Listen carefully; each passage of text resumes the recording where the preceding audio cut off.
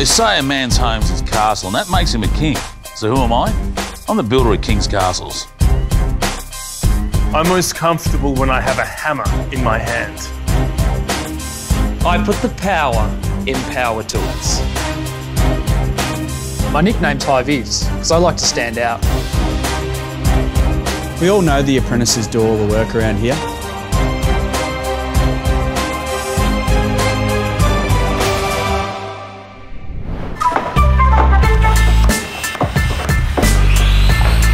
Coming up on the new series of Real Tradies of Melbourne, there's a new chippy in town. I don't know if he can build things, but he can sure make an entrance.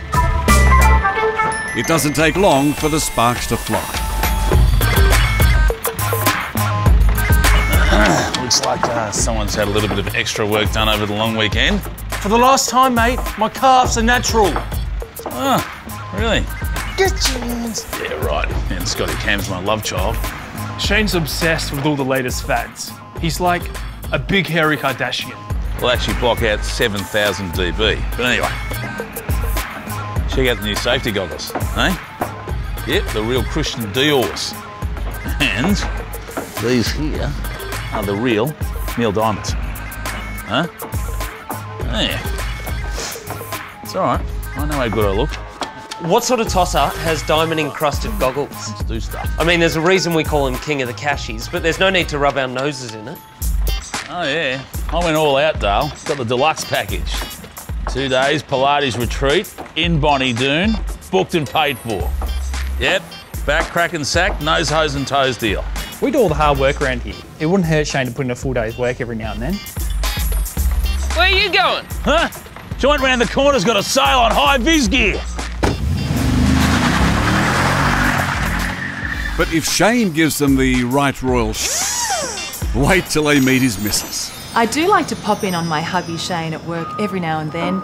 He's so caring about his fellow tradies. Need a hand with that? Oh, yes, please, mate. Macca, give him a hand, will you? Thoughtful, isn't he? You know, the truth is that a building site can be a dangerous place and back injuries are all too common. Yeah, he's right, because when Shane's around, you're a pretty good chance of being stabbed in the back. This will be good. You know, last week he cut right through the power cord. Eh? I mean, come on, he's been doing it long enough to know better than that. Shane can do anything that he puts his mind to. Lately, he's been losing weight, thanks to our new healthy eating plan. No, it's saying here he won the Nobel Peace Prize for it in 1986, which I wasn't quite aware. Hi, aware. darling. Hey, sweetheart, how are you? Hi, boys. I bought lunch. Missed you. Hey, boys, you know my wife, of course. I bought Shane's favourite pies. Oh, you did. Hello. Pass them round. These are good for you guys. He's secretly been having green smoothies in his thermos, and he's found these pies that look like normal pies, but they don't have any fat, and they're very low calorie, so he can eat them every day. Health pies? These are the ones you just get at the Hey, Cheesy! What are you doing, mate? Get your hard hat on.